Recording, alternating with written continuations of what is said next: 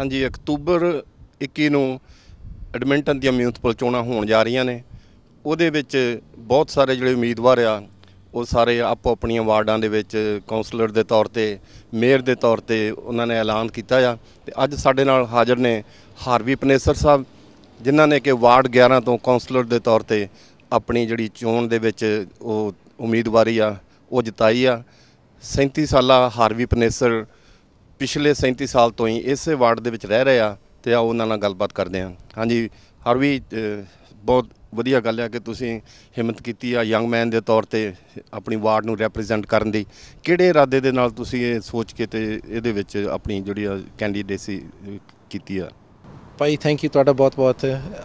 ਸਾਡੀ ਸੋਚ ਇਹ ਸੀਗੀ ਕਿ ਇਹ ਜਿਹੜੀ ਵਾਰਡ ਆ ਬੜੀ ਪੁਰਾਣੀ ਵਾਰਡ ਨਹੀਂਗੀ ਇਹ ਕਾਫੀ ਨਵੀਂ ਵਾਰਡ ਆ। ਸਾਡਾ ਇਹ ਤਕਰੀਬਨ ਸੀਗਾ ਜਿਹੜੇ ਯੰਗ ਪ੍ਰੋਫੈਸ਼ਨਲ ਆ, ਇਹ ਸਿਟੀ ਨੂੰ ਆਪਾਂ ਬਹੁਤ ਚੱਕ ਸਕਦੇ ਆ ਉਚਾਈ ਤੱਕ ਪਹੁੰਚ ਸਕਦੇ ਆ ਪਰ ਇਹ ਸ਼ੁਰੂਆਤ ਵਾਰਡ 11 ਚ ਹੀ ਹੋਊਗੀ।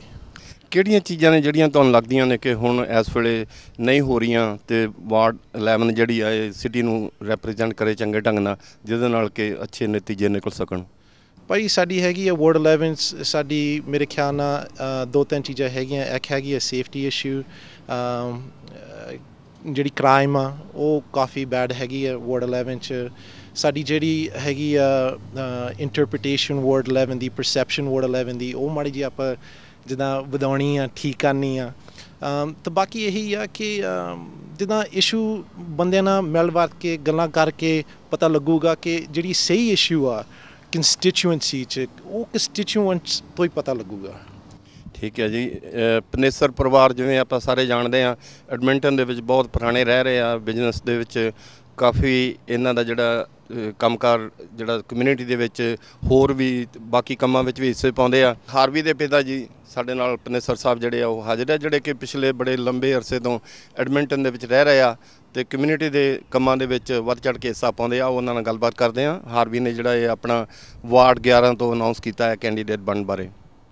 ਹਾਂਜੀ, ਸਾਰਿਆਂ ਦਾ ਬਹੁਤ ਬਹੁਤ ਧੰਨਵਾਦ ਅਸੀਂ ਕਾਫੀ ਦੇਰ ਤੋਂ ਇੱਥੇ ਰਹਿ ਰਹੇ ਹਾਂ, ਕਾਫੀ ਕਮਿਊਨਿਟੀ ਵਧੀਆ ਆਪਣੇ ਐਡਵੈਂਟਰਨ ਸ਼ਹਿਰ ਦੇ ਤੇ ਅਸੀਂ ਟਰਾਈ ਕਰਦੇ ਹਾਂ ਵੀ ਚਲੋ ਹਰ ਵੀ ਕਮਿਊਨਿਟੀ ਸੇਵਾ ਕਰ ਸਕੇ ਔਰ ਚੰਗਾ ਕੰਮ ਕਰ ਸਕੇ, ਜਿਹੜੇ ਚੰਗੇ ਕਾਰੋਬਾਰ ਕਰਨ ਵਾਲੇ ਆ ਉਹ ਸਾਰਿਆਂ ਦੇ ਸਾਹਮਣੇ ਲਿਆਵੇ।